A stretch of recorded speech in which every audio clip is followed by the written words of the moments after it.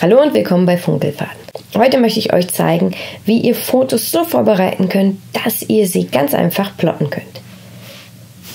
Auf Instagram hatte ich euch ein Bild gezeigt von einem T-Shirt, das meine Nachbarin mit einem Foto ihrer Familie gestaltet hat und daraufhin super viele Rückfragen bekommen, wie man dann ein Foto so vorbereiten kann.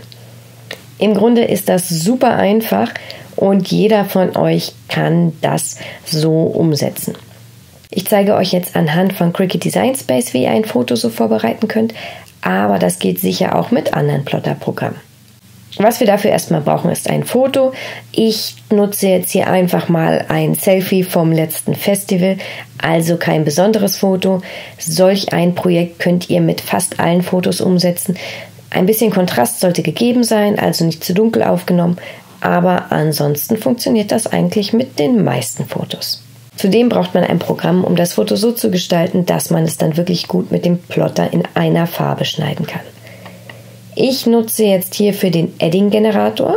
Es gibt sicher viele weitere Programme, aber dieses Programm ist super einfach und vor allem kostenlos und du kannst direkt vom Handy oder deinem Computer aus darauf zugreifen.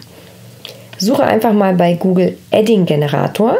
Edding so geschrieben wie der Edding, den wir sicher alle kennen denn das Programm ist auch von Edding und eigentlich dazu da, um Vorlagen zu gestalten. Man kann es aber halt auch wunderbar nutzen, um sich Bilder, also Fotos, plotfähig zu machen. Klicke hier auf Browse und dann kannst du dein Foto hochladen und es dann umwandeln. Hier mit den beiden Reglern Kontrast und Weichzeichnen kannst du das Foto noch so einstellen, wie du es haben möchtest. Ignoriere einfach ein bisschen den Hintergrund mit dem Festival bei diesem Beispiel. Um den kümmern wir uns später noch. Stell das Foto erstmal so ein, dass man die Gesichter wirklich schön erkennen kann und du dir gut vorstellen kannst, dass das zu deinem Projekt passt. Wenn du dich dann für eine Art der Gestaltung entschieden hast, klicke auf Bild speichern. Das Foto wird nun auf deinem Computer oder deinem Handy gespeichert. Nun öffnen wir das Cricut Design Space und dabei den Arbeitsbereich. Wir klicken auf Hochladen und laden das Foto, das wir gerade umgewandelt haben, wieder hoch. Hier klicken wir auf Fortfahren und dann kommen wir in den Hintergrundentferner-Modus. Du kannst den Hintergrund entweder automatisch entfernen, wenn du das Abo hast, oder manuell. Wir entfernen jetzt mal manuell. Dafür nehmen wir zuerst den Zauberstab und entfernen den groben Hintergrund. Du siehst, jetzt ist alles so ein bisschen grau kariert im Hintergrund. So soll das auch sein. Dann können wir den Radierer nehmen und alles aus dem Hintergrund entfernen, was uns noch so nicht passt. In diesem Fall das Festival. Also einfach den Radiergummi wählen und die Größe so einstellen, dass es du damit gut radieren kannst und dann einfach alles ausradieren, was dir nicht gefällt. Ich gehe da jetzt relativ grob bei vor, am Rand ist es ja auch ganz gut, so ein bisschen Kontrast zu haben, also am Rand der Personen. Dementsprechend also einfach nur die Elemente, die wir wirklich nicht haben wollen, ausradieren. Dann haben wir den Hintergrund jetzt nur manuell entfernt mit dem Zauberstab und ähm, sollten auf jeden Fall nochmal schauen, ob alles so entfernt ist, wie wir uns das vorgestellt haben. Wahrscheinlich nicht. Dafür wäre der automatische Hintergrundradierer auf jeden Fall besser.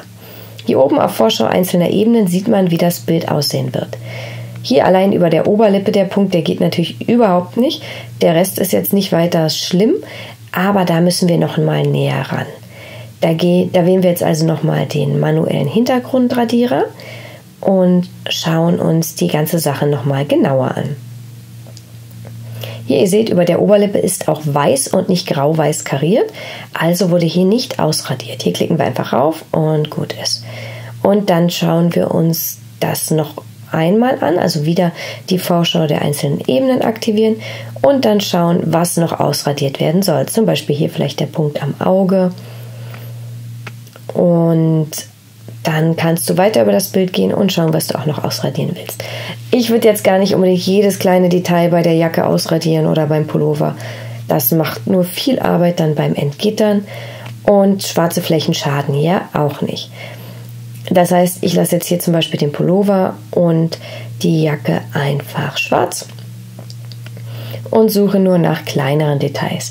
Aber das kannst du so machen, wie du möchtest, denn es ist ja dein Bild. Hast du alles so eingestellt, wie es dir gefällt, dann gehst du einfach auf Anwenden und Fortfahren und kommst dann in diesen Bereich. Es ist jetzt ganz neu möglich, im Cricut Design Space auch Fotos hochzuladen mit mehreren Farben und diese in unterschiedliche Ebenen zu zerlegen. Das ist aber ein komplexeres Projekt und für so ein Motiv mit Fotos jetzt auch nicht so ganz einfach umsetzbar. Deswegen wählen wir einfach hier in der Mitte eine Ebene und damit sind wir eigentlich auch schon fertig. Unser Foto ist plotfähig und so wie es ist, könntest du es jetzt aus Bügelfolie oder auch Vinylfolie ausschneiden und auf ein T-Shirt bügeln oder irgendwo raufkleben. Ich hoffe, dir hat dieses Tutorial gefallen und du weißt jetzt, wie du deine eigenen Fotos plotfähig machen kannst. Es ist wirklich super einfach. Probier das einfach mal mit dem Edding-Generator aus. Ich habe in der letzten Zeit so super viele Projekte gestaltet. T-Shirts zum Vatertag oder auch zum Geburtstag. Und ich denke, du hast auch mega viele Ideen, wofür du diese Technik umsetzen kannst. Ich freue mich auf jeden Fall, wenn du mir einen Kommentar mit deinen Projektideen hinterlässt oder natürlich auch mit Fragen, wenn es zur Umsetzung dieser Technik weitere Fragen gibt. Ansonsten freue ich mich wie immer, wenn du dem Kanal folgst, ein Like hinterlässt und beim nächsten Mal wieder mit dabei bist. Bis dann!